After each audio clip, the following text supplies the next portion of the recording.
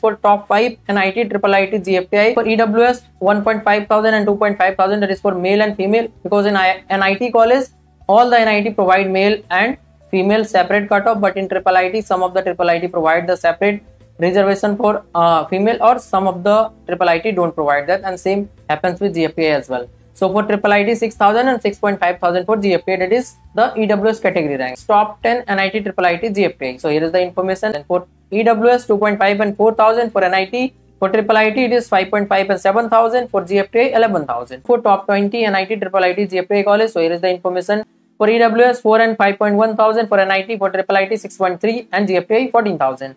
Now let's talk about for lowest possible NIT triple IT GFTI college. Here is the information. EWS 6.5 7.5 thousand for NIT for triple IT 8.5 GFTI 18,000.